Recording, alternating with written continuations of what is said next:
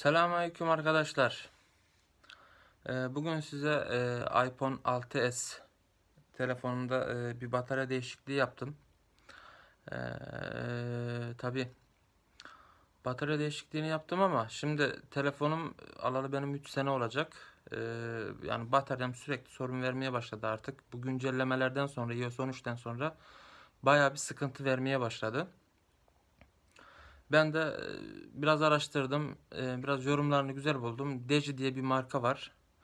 Onun bataryasını aldım, kullandım. Ama yani bugün taktım daha.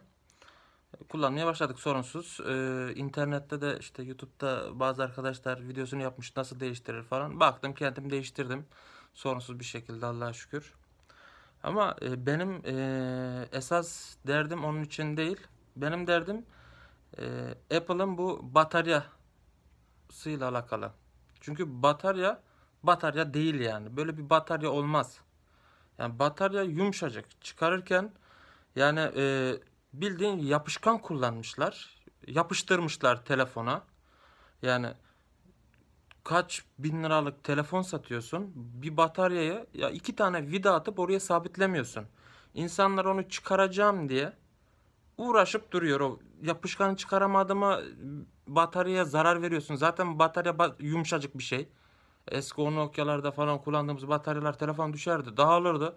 Batarya bir yere gider, şey bir yere giderdi. Toplardın, takardın. Yine kullanmaya devam ederdin. Ama bunda öyle bir şey mümkün değil. Batarya yumuşak. Patlama riski var. Yani baya bir sıkıntılı. Yani bir Apple'a ben bunu yakıştıramadım. Böyle bir batarya şekli olmaz, yumuşacık olmaz. Yani ne bileyim biraz daha onu dışını sağlam yaparsın yani ve iki tane yana vida atarsın. Sabit tutarsın. Onu değiştirmesi de çok basit olur yani. Ama öyle değil. Bildiğin yapışkan kullanmışlar. Alta yapıştırmışlar. Batarya yumuşacık. Çıkarmak bela. Takmak bela. Yani e, baktım hatta bir tanesi paylaşmış iPhone 6'sı adamın çöp olmuş yani. Değiştirememiş. Vidalarını kaybetmiş. Bataryayı mahvetmiş. Ee, en son işte ekran ekran her şey gitmiş yani bir şeyi değiştireceğim diye. Ee, bunun sebebi biz olamayız yani. Bunun kesinlikle e, şeyi vardır arabalarda eskiden. Yani şimdi de öyle de araba ne kadar e, yani basitse e, mühendislik o kadar iyi denir. Yani insan kullanımı açısından. Ama bu telefonun için içi apayrı bir dünya. Yani zaten bu telefonu kullanmamın tek sebebi iOS. Yani iOS iyi olmasa kesinlikle iPhone kullanmam yani.